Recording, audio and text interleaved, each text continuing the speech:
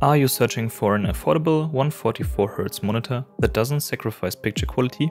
Well, the Asus VG249Q might be what you are looking for. It's a 23.8 inch Full HD IPS display and retails for slightly less than $250 or euros depending on your region. Let's take a closer look.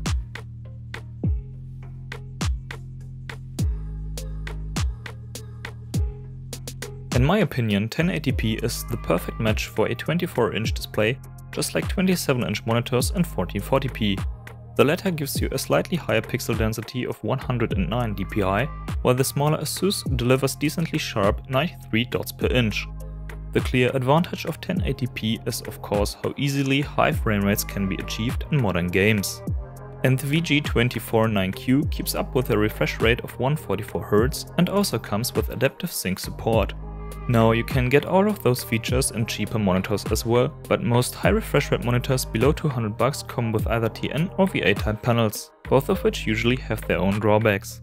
As you clicked on this video, you're probably looking for an IPS type monitor, which usually is a great compromise between gaming performance, color accuracy and overall picture quality. Of course, we will take a deep look on all of those aspects in a bit.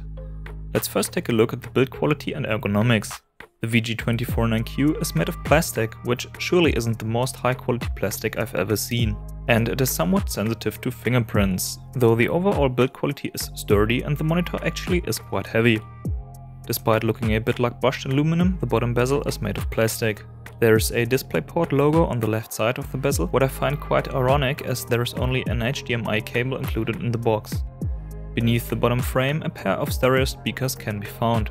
They sound good enough to actually be usable despite lacking some treble clarity. The bass response is not bad compared to other integrated speakers. Don't expect a high quality audio experience, though the speakers are usable to watch some YouTube. Of course, Asus couldn't resist to throw some red plastic applications onto the monitor. This is a TUF gaming branded monitor at least, and how dare you to forget you bought a gaming monitor. Well, I personally prefer the more minimal design language of something like the Omen 27i, but let me know in the comments if you actually like red plastic applications or gaming logos on your monitor. Also red are the buttons on the bottom of the monitor that are used for menu navigation.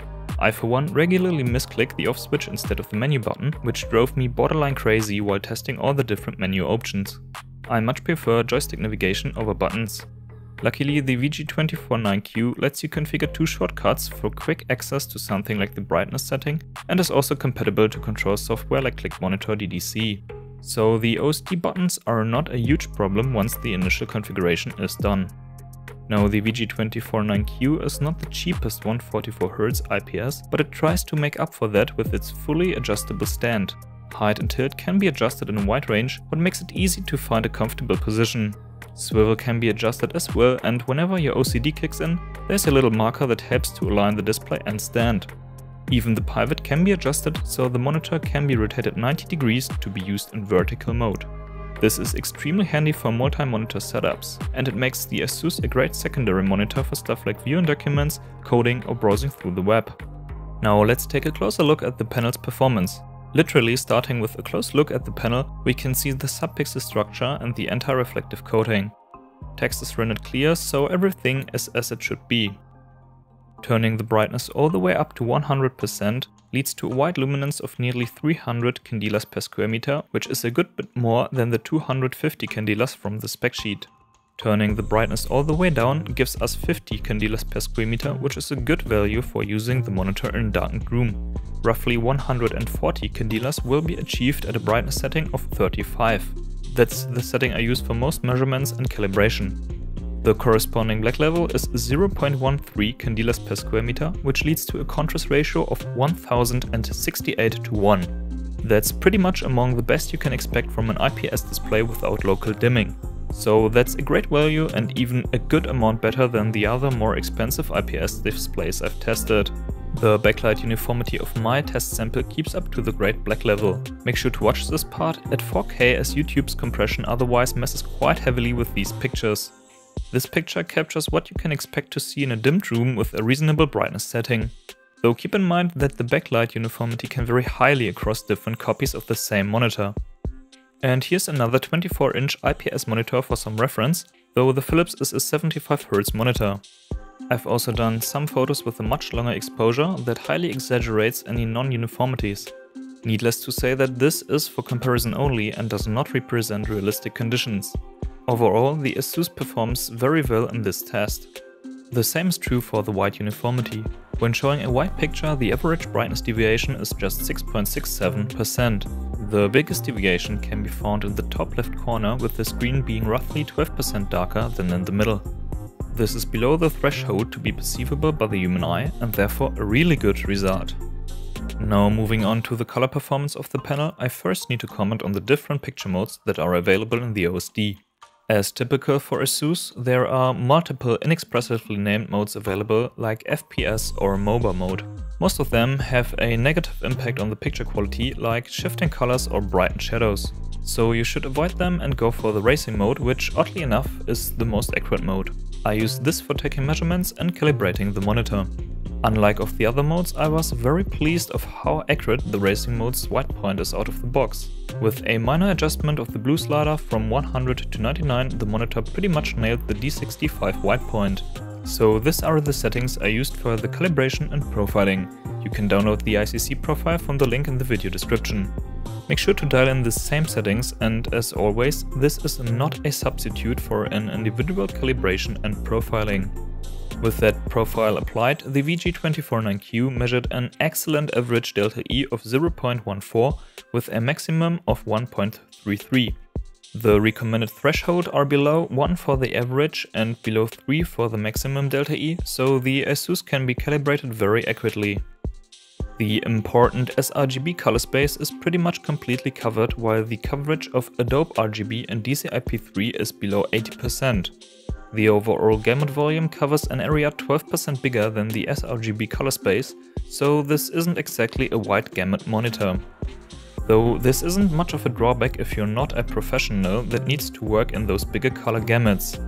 For everyone else, the smaller gamut can actually be positive, as this reduces the oversaturation problem in non-color managed applications that is common to wide gamut monitors.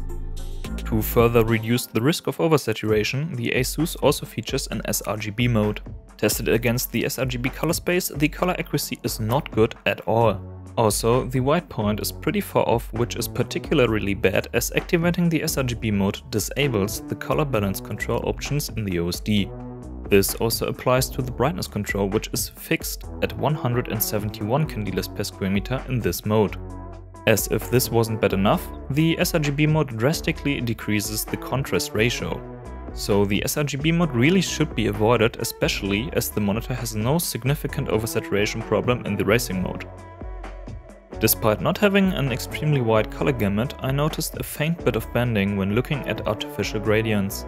This isn't a problem for most natural gradients in photos or videos and therefore shouldn't really be a drawback for most users.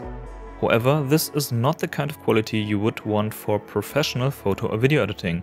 But if that's what you're into, you certainly would look for a different tier of monitor anyway. Due to the slight banding, I suspect the VG249Q uses a 6-bit plus FRC panel, but I couldn't find any reliable confirmation about that. Nevertheless, the panel certainly gets close to real 8-bit performance. Now, color performance is one thing, but let's take a look at the VG249Q's gaming capabilities. A refresh rate of 144Hz is pretty much the standard these days for anything that wants to be called gaming monitor, and the ASUS does not disappoint. It also packs adaptive sync support, namely FreeSync or G-Sync. If you're an owner of an Nvidia graphics card, you will need to get a DisplayPort cable separately to use G-Sync, as this does not work over the HDMI 1.4 input the monitor provides. AMD users get FreeSync support over both the HDMI and DisplayPort connection. The monitor also is FreeSync Premium compatible. Nvidia on the other hand did not validate the ASUS as G-Sync compatible, so you have to manually enable G-Sync in the Nvidia control panel. In my testing, G-Sync worked perfectly fine with the VG249Q. Now, a high refresh rate monitor also needs to achieve good response times to deliver a crisp gaming experience without disturbing with ghosting artifacts. As usual, I've used Blur Busters' pursuit camera technique to capture the motion characteristics of the monitor. The VG249Q sports two so-called ELMB modes, what stands for Extreme Low Motion Blur. Sounds good, so let's give them a try. Setting ELMB from off to standard obviously does a great job eliminating motion blur. The little alien is far less blurry with ELMB activated than without, though ghosting is still a problem as the UFO trails multiple ghost images. Sadly, the overdrive setting is not available with ELMB, so there's no way to reduce the ghosting in this mode. Adaptive Sync is not available either and the brightness setting is fixed at a value equivalent to a brightness setting of 45. Engaging the turbo mode caps the brightness even further while delivering a marginally sharper image. Due to the mentioned drawbacks, I wouldn't recommend any ELMB setting. But the VG249Q provides multiple overdrive settings, which are called trace-free. The OSD offers a slider from 0 to 100 with increments of 20. I skip a few settings as there's no drawback turning this all the way up to 100. I have to admit that I'm a bit surprised that ASUS didn't choose to include a setting with massively tuned up overdrive. This is usually done to advertise terrific response times at the cost of unusably bad image quality thanks to loads of inverse ghosting. But ASUS obviously went a different route and included a notably well-tuned overdrive setting, as you can see in the picture to the right. How good this performance really is becomes obvious when we compare this to the HP Omen 27i that uses LG's fast IPS panel, which built up a reputation for its outstanding ghosting performance. And honestly, the VG249Q is not far off. And keep in mind that the monitors that come with that LG panel are much more expensive than the ASUS. Let's quickly confirm that the same trace-free setting can be used at 120Hz, which is important when using Adaptive Sync. That is as the refresh rate will always be a bit below 144Hz with proper configured FreeSync or G-Sync.